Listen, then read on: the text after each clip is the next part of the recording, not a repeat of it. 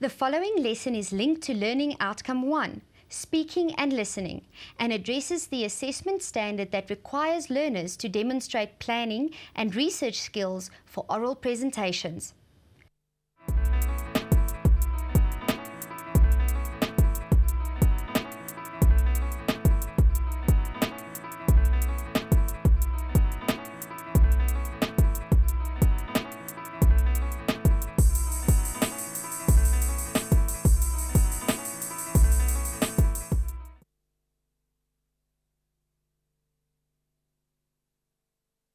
Hi, I'm Charlotte. In this series of lessons, we've been learning how to write and deliver speeches, and we've been following Palesa's progress as she prepared for a class speech. And that's why I'm here at her school today. Her big day is over. She has just delivered her speech to her class, and I'm here to see how she got on. Hey Palesa, how did it go? Hi, it went well. I was confident, I knew my words, I made good points, and I really got my ideas across. So you achieved your goal. You improved your English speech marks. Well, sort of. What do you mean, sort of? What happened? Well, just when I thought the whole speech thing was over, my teacher said we'd be doing unprepared speeches in two weeks' time. Well, you're a good speaker now. Yes, but look how long it took me to write my speech, and I spent ages practicing it. There's no way I can stand in front of a class and do an unprepared speech. Relax. Let's get back to the studio because in today's lesson we are going to learn how to do unprepared or impromptu speeches. And you'll see that it can even be fun.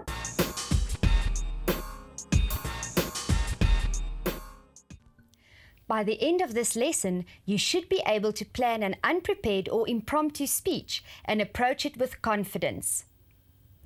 Unprepared or impromptu speeches are not just something that you have to do in school for marks. They might not be called unprepared or impromptu speeches, but there are lots of times that you will be expected to speak well without having time to prepare. For example, job interviews are a form of unprepared speech. You have to make the best impression possible and answer questions you are not prepared for. Impromptu speeches are also good training for when you find yourself in a meeting where you want to make a point clearly and effectively. Okay, I understand and I'm ready to do this, but how do you prepare for an unprepared speech? By doing a lot of what you've already been doing for your prepared speech. But there are a few more tips to keep in mind. To begin with, because you don't have time to learn your speech, the key points on your speech cards are even more important than they are for the prepared speech. Princess from Hope School is going to demonstrate how not to do this. The function of anti violence organizations is to prevent people from getting hurt. The people in South Africa who suffer most are women and children. Hence, many groups focus on preventing violence against women and children only. I see what you mean. Princess shows quite clearly that if you don't have cue cards, you might end up waving a big piece of paper around. And what else do you think might be wrong with this speech? She just read her speech. I think she was a bit nervous, so she was reading her words and she didn't look up or make any eye contact. But I still don't know what to write in my speech cards. Before we go into that, let's see what the professionals have to say about impromptu speaking. We spoke to Thebe Ikalafeng, the marketing manager for Nike Africa, whose job relies on giving unprepared or impromptu speeches.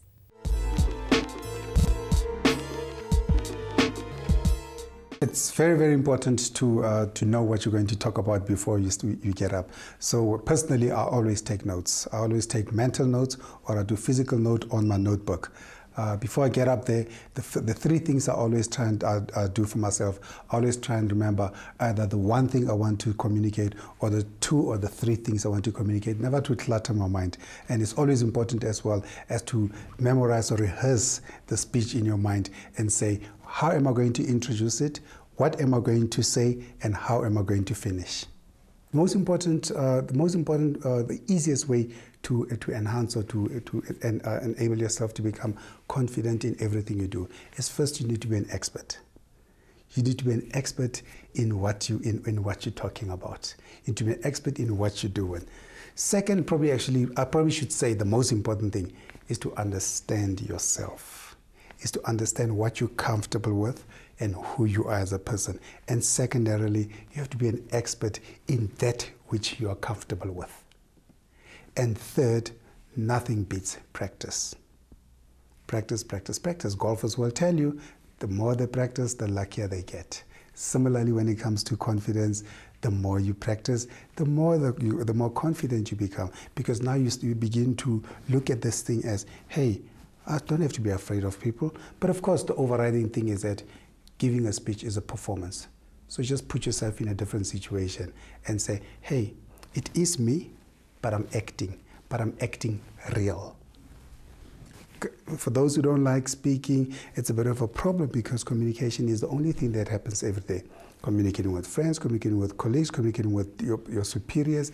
You've got to be confident at communicating, but you can choose the medium which you are comfortable with. Some people are much more comfortable speaking. Some people are much more comfortable writing. Some people are more comfortable drawing. It's a mode of communication. One thing to watch out for is reading your speech. Because you are nervous, you might be tempted to write a short essay and then just read it. No one wants to watch a speech being read. But at the same time, no one will expect you to be as polished as if for a prepared speech. You have to find a compromise. You don't want to write out a full speech, but you don't want to stand up in front of everybody without knowing what you are going to talk about. Rather than writing out the whole of her speech, the learner who we saw earlier could have just noted the key ideas. The whole long version of the speech would look like this. But if we just put down the key points on the speech cards, it would look like this. The function of anti-violence organizations and preventing violence against women and children. There are several reasons why we use cards with keywords and ideas rather than writing everything out in full. Keywords help you to speak more naturally. Unless you are an actor, we do not speak to each other from a rehearsed script. So, by just reminding yourself of your ideas, you will tend to be more relaxed and you will speak more naturally. Keywords on cards encourage you to make contact with your audience. You can't make eye contact with your audience when you are reading. And we already know how important making contact with your audience is from our previous lesson. By using your own words as you go along, there's no danger of losing your place. There is nothing worse than having to stop in the middle of what you are saying to find your place in your speech. Finally, it makes you aware of what you are saying. By having only notes, you are really forced to understand what you are talking about. But what if I get a topic I know nothing about? That's not likely to happen. Your teacher is not really out to get you. You're not likely to get a topic that you've never covered and then be expected to pull facts and figures out of your head. So, what kind of topics are we likely to get? Your teacher will give you topics that you can add your own personal experiences to. Things like happiness is, how advertising dictates what we look like, when I'm alone, we are all victims. After you get your topic, you will be given about 5 to 10 minutes to prepare it and would be expected to speak for about a minute and a half. Use your preparation time to follow the exact same steps you used for your prepared speech. Let's go through them again. Always brainstorm your topic and write down all your ideas. Decide on the focus, in other words, what you want to say to the audience. Put your ideas into a logical order and use language that allows you to connect your ideas to one another. It is also a good idea to write an effective introduction and conclusion to your speech, even if there is limited time. As we learnt in our lessons on prepared speeches, these are the make or break points. So let's go through what makes a good impromptu speech. Palesa, refresh our memories regarding the advice that we got from Mr. Ikalafeng from Nike Africa. He said that first you need an effective introduction, then two or three good logical points of discussion, and close with an effective conclusion. You see, it's not that difficult. I'm still a bit nervous about not getting time to prepare and practice. Well, just for practice, let's do one of the topics we looked at earlier. Which one did you find interesting? Um, can you please remind me what they were? Happiness is how advertising dictates what we look like. When I'm alone, and we are all victims.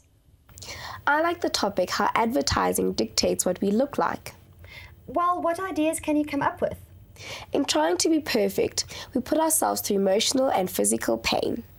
Well, what does that have to do with advertisers dictating what we should look like?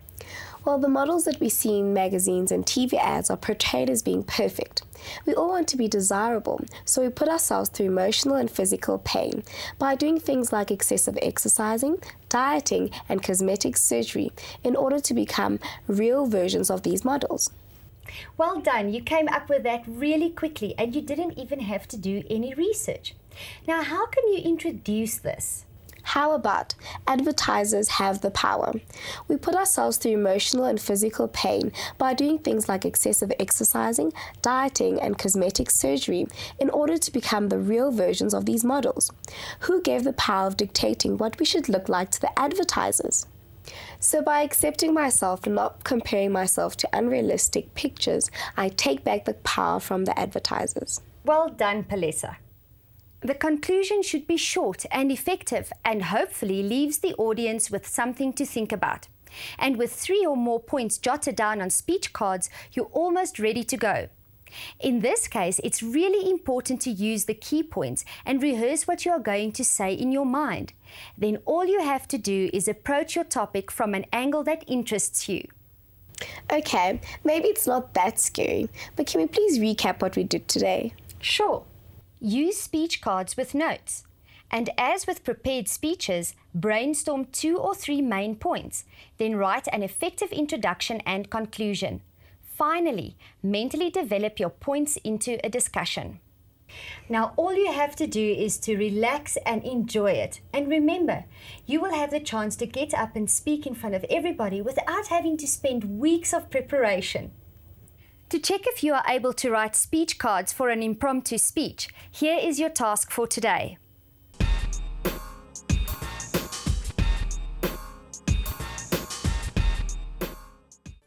Here are the topics for unprepared speeches we saw earlier.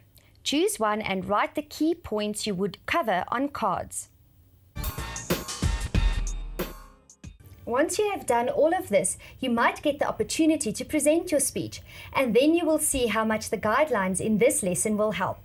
Well, thank you for joining us in the studio, Palesa, and I hope all of you enjoyed our series on planning speeches. Goodbye. Bye.